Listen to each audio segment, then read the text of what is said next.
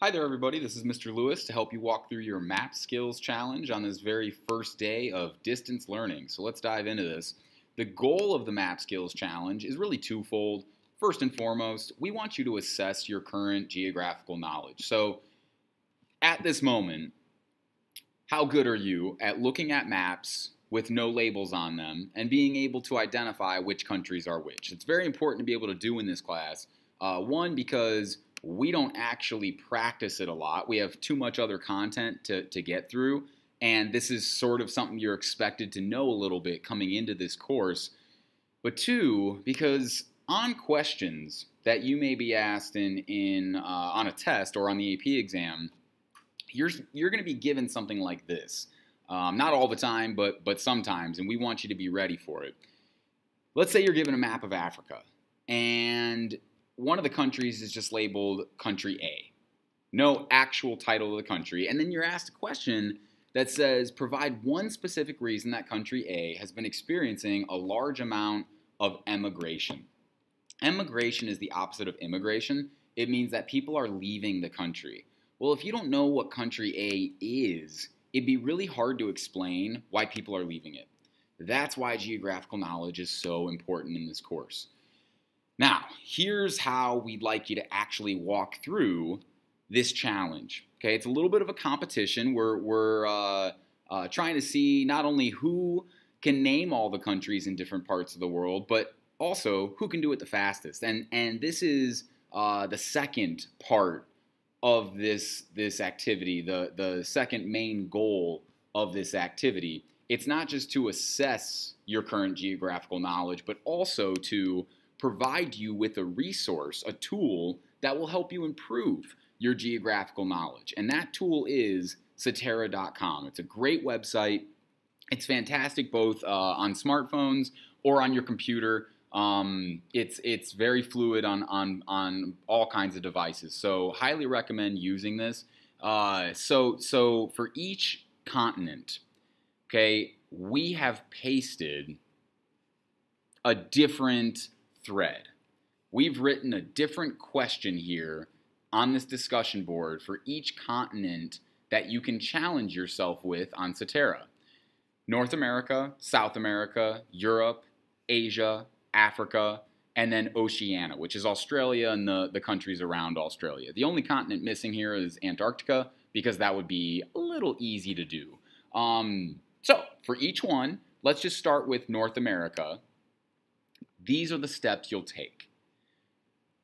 North America, I'm going to click on this link. It's going to take me directly to not just the Seterra website, but also the, uh, the quiz for that particular area of the world. In this case, North and Central America.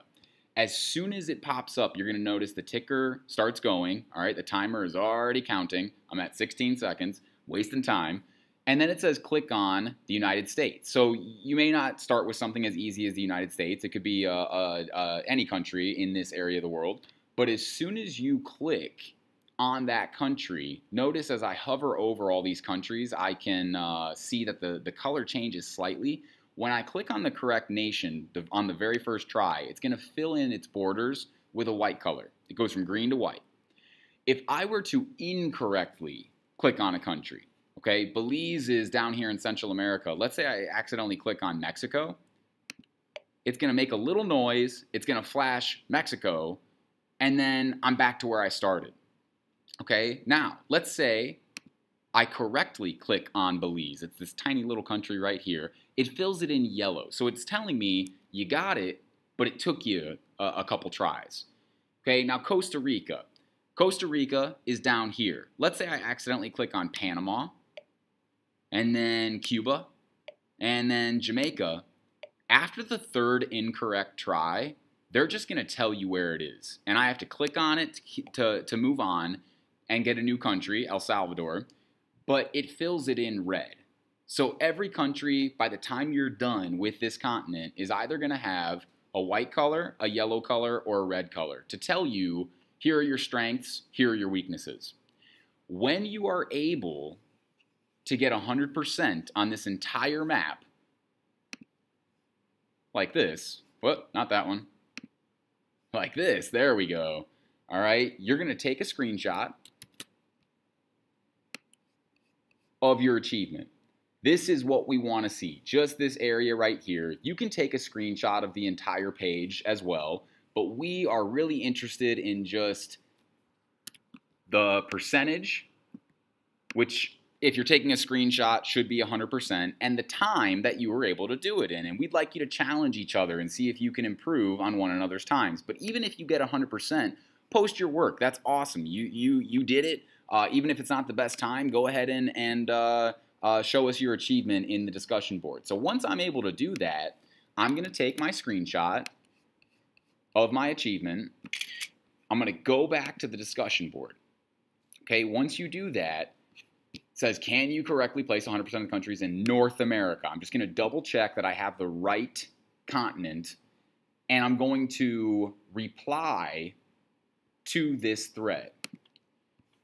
Once you do that, you've got a text box here. Now, I'm, I really don't need to write anything in here. You've already got your name listed from your Buzz account. I just want to see the actual image. Okay, so what I'm going to do is go into my images, find my screenshot, I'm going to copy it, go back into Buzz, and I'm just going to paste it into that area. I don't need to write anything. I just want to show my teacher and my classmates, hey, I got 100% on this region. Here's the time I did it in, and that's it. No comments are necessary underneath. Um, we just want to see how great you are and, and uh, how, how much you're improving your geographical knowledge. And you can push one another on time and try to post the fastest time as well. That's it's always fun to be a little competitive in that regard. Just uh, uh, we don't need any any comments because we're not trying to disparage one another. It's just uh, good old fashioned competition and a little bit of fun. So once you're able to do that, click post. And you should be good to go. It's going to go ahead and, and take its uh, sweet time posting here, and that's just fine.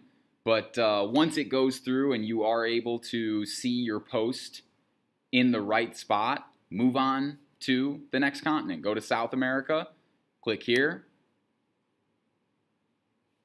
it's going to jump open for you.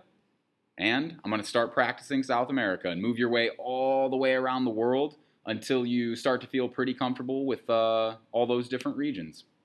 So that's it, you guys. Have fun with this. Um, challenge yourself a little bit, challenge others, and show us all the great work you can do. If you have any questions, be sure to reach out, reach out to your teacher, and uh, we'll clarify any specifics and, and answer any questions that you might have. All right, that's it. Thanks. We'll see you later.